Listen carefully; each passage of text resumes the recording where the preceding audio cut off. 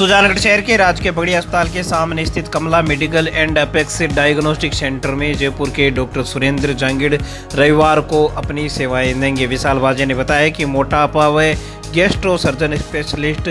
doctor Jangid प्रत्येक महीने के पहले और तीसरे रविवार को मरीजों की जाँच हेतु कमला मेडिकल पर कैंप लगाते हैं, इसलिए मोटापा मोटापा जनित रोग, आंत व लीवर कैंसर, पेट में दर्द पाइल्स पिस्टोला, हर्निया जैसी बीमारियों की समस्या से पीड़ित लोग इस शिविर का लाभ उठाते हुए चिकित्सक की सेवाओं का फ़ायदा ले सकते हैं। सरकारी अस्पताल के सामने Kamala medicos and apex diagnostic centre पर कल वार रविवार को सुबह डॉक्टर सुरेंद्र जांगीर जो कि मोटापा एवं गेस्ट्रो सर्जन है, वो अपनी साढ़े बारह बजे से लेकर तीन बजे तक सेवाएँ देंगे, जिनमें वह मोटापा व मोटापे से जनित रोगों का उपचार करेंगे तथा लीवर में कोई भी प्रकार की दिक्कत हो या कोई भी अन्य प्रकार के पेट से संबंधित आपके कोई प्रॉब्लम है तो आप इनकी सेवाओं को सुजानगढ़ एवं आसपास के क्षेत्र के लोगों से मेरी ये अपील है कि अगर उनके हारनिया या मस्सा या कोई अन्य प्रकार की पेट से संबंधित कोई भी तकलीफ़ हो तो वो डॉक्टर साहब की सेवाएँ ले सकते हैं जिनमें उल्टियाँ आना या खाना नहीं निकल पाना या खाना खाने के बाद में खाना का पच, पचना नहीं होता है। लोगों से संबंधित अगर आपके कोई भी समस्या है तो हमारे कमला डायग्नोस्टिक सेंटर पे कमल, मेडिकोज पे आके इन डॉक्टर साहब की सेवाएँ लें।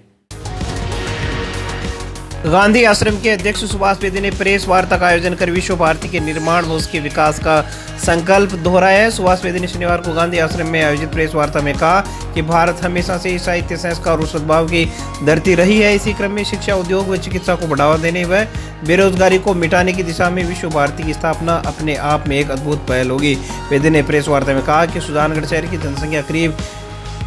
एक पॉइंट पचास लाख है और इस क्षेत्र में प्रसिद्ध सिद्ध पीठशाला सर बालाजी धाम, श्री डूंगर बालाजी धाम कृष्णमर्ग हरिण अभ्यारण्य, जैन विश्व भारती जैसे ऐतिहासिक स्थल है। इस अद्भुत भौगोलिक स्थिति को देखते हुए यहाँ पर ही विश्व भारती की अत्यधिक उपयुक्तता है। वेदे ने कहा कि जल्दी मुख्यमंत्री से इस बारे में मुलाकात की जाएगी और प्रदेश के प्रबुद्धजनों व जनता को साथ लेकर इस विश्व स्तर की संस्था को करोड़ों की लागत से स्थापित किया जाएगा। विश्व भारती की स्थापना का मतलब ये है कि वहाँ पे बहुत बढ़िया एक स्कूल खुले, जो हमारी संस्कृति और शिक्षा का उत्थान करे और जो पुरानी हमारी संस्कृति है, उसका उत्थान करे। दूसरा, इस एरिया के अंदर ऐसा एक हॉस्पिटल हो, जिसमें दिल्ली तक और जयपुर तक हमें नहीं जाना पड़े और हमारे इस एरिया के लोगों का इलाज हो। और हम ये चाहते हैं कि कुछ संस्कृति की और धर्म की, कर्तव्य की ऐसी चीज़ें हैं, जो हमारे देश की प्रसिद्ध है उन उनको पुनर्जीवित किया जाए और उनके लिए भी एक अनूठा कार्यक्रम किया जाए जिसमें भारत सरकार और राजस्थान सरकार जुड़े और यहाँ से ऐसे संदेश जाए कि वो विश्व तक जाए और हमारा देश वापस विश्व गुरु बनने की ओर जाए। मैं यही चाहता हूँ। धन्यवाद। गाँव ठरडा के निवासी विक्रम सिंह बिदावत ने चुरू जिला कलेक्टर को पंचायत समिति परिसर में ज्ञापन देकर अवैध रूप से एक व्यक्ति विशेष द्वारा बिना वांछित परमिशन के बनाए गए व्यवसायिक कटलों पर कार्रवाई किए जाने की मांग की है। इसी प्रकार भाजपा पार्षद व नगर परिषद के नेता प्रतिपक्ष जय श्री दाधीज के नेतृत्व में भी बीजेपी पार्षदों ने ज्ञापन देकर जिला कलेक्टर से नगर परिषद की आम सभा बुलाए जाने, सीवरेज कार्य के तहत तोड़ी गई सड़कों को सही किए जाने व चापटे तलाई की चार दीवारी किए जाने की मांग की है। पार्षद हरिओम कोड ने जिला कलेक्टर को ज्ञापन सौंपकर वार्ड नंबर चार में मूलभूत सुविधाओं का विकास किए जाने और विकास नहीं किए जाने की दशा में पंचायत में शामिल किए जाने की वार्ड को मांग की है। सुजानगढ़ जिला कलेक्टर साहब की विज़िट थी और मेरी शुरू से जो मांग है, जो प्रेम प्रकाश घासोलिया का जो सिंडिकेट चल रहा है, ये अवैध मार्केट वाला, जिसमें उसका पूरा फैमिली और कुछ लोग इन्वॉल्व इन्वॉल्व है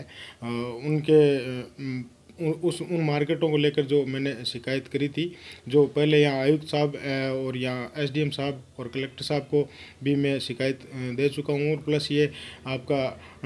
लोकायुक्त में भी मेरा चल रहा है और डीडीआर डीडीए में भी मेरा ये मामला चल रहा है। तो मैंने कलेक्टर साहब से यही रिक्वेस्ट की, मैंने कहा, साहब, इस पर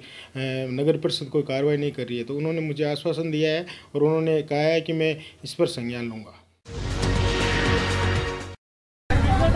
हाँ घेरो घेरो घेरो घेरो सुजानगढ़ से अशोक सर्किल की ओर जाने वाली जयपुर बीकानेर रोड पर स्थित पीडब्ल्यूडी कार्यालय के सामने एक चलती डस्टर कार में अचानक इंजन में आग लग गई, जिसके कारण अपरा अफरातफरी बच गई। दूसरी ओर, कार में आग लगने के कारण चालक राकेश गुलेरिया ने उतर कर अपनी जान बचाई और आसपास के लोगों की सहायता से पास के घरों में से पानी की बाल्टियाँ लाई गई। लोगों ने बाद में पाइप के ज़रिए भी आग को बुझाने का प्रयास किया। राकेश ने बताया कि वह पेट्रोल पंप से पेट्रोल भरवा कर आ रहा था। इसी दौरान कार के इंजन में अचानक आग लग गई वहीं